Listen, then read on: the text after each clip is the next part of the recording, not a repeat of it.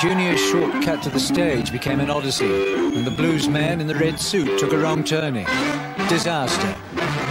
Yeah, we've gone the wrong way, I'm afraid. Hopelessly lost, and the 60-second walk through the Gluepot took six minutes. At times, he never felt more like singing the blues or something. Close to exhaustion, the bluesman finally stumbled into the most famous band room in the country, and the gig got underway. Junior's blues ain't got nothing to do with cotton fields. He's an urban bluesman born in Chicago nearly 60 years ago. He likes the tag musician, dislikes legend.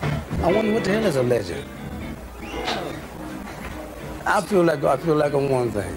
I'm, I'm a musician that loves what he's doing, and I appreciate the people when they come to hear me. If that's a legend, then maybe so then. For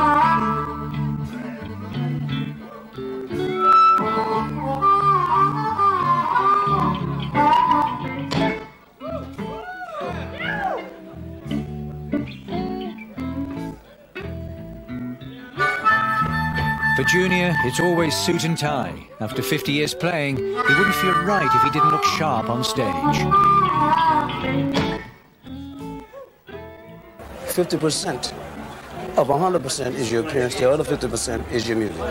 And I learned one thing that if you're going to be a musician, these go to work and look like one. Not go to look like a bomb, and that's not me. I'm not going that way. I can't do it. His side men are sharp as his suits. Awesome.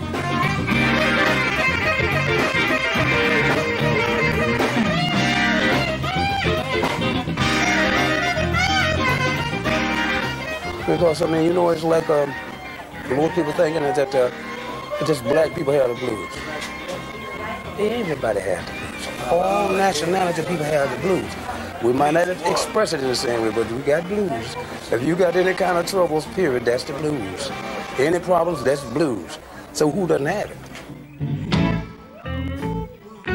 Junior Wells, blues for yesterday, today, and tomorrow. Take me in.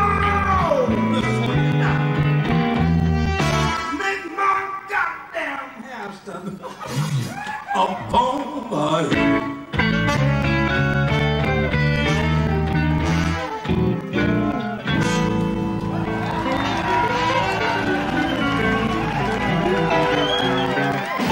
Would have loved to have been there.